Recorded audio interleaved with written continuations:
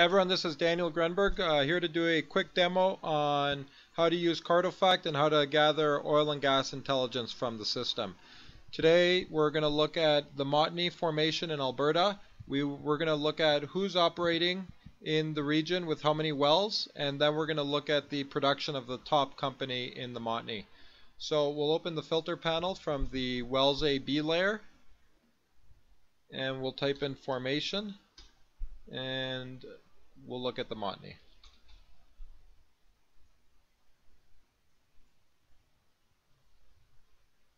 Just over 10,000 wells.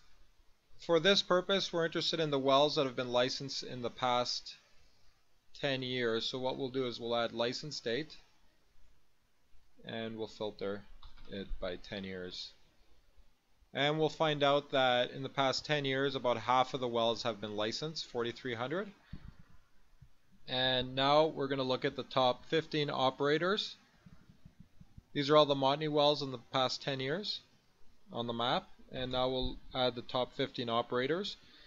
And what, what's going to happen is we're going to get an updated map to see the wells icons based on the company that is licensed, that, that is the licensee of those wells. So the map's just updating right now.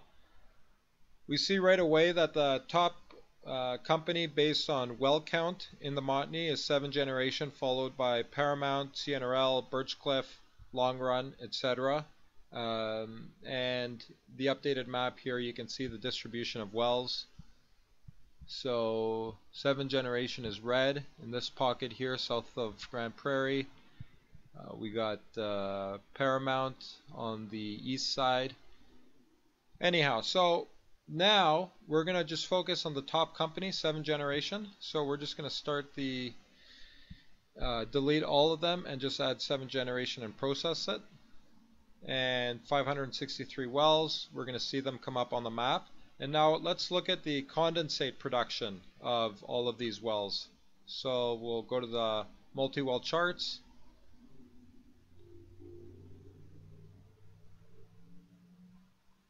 And here we go. So we'll go to condensate and we'll choose cumulative in barrels. And in the past 10 years, 7 Generation has produced 209 million barrels of condensate.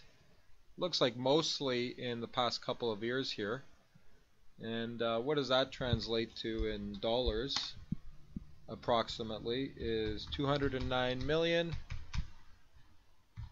times 50 bucks a barrel of condensate is 10.5 billion dollars. Good job. Thanks for watching the tutorial and have a great day.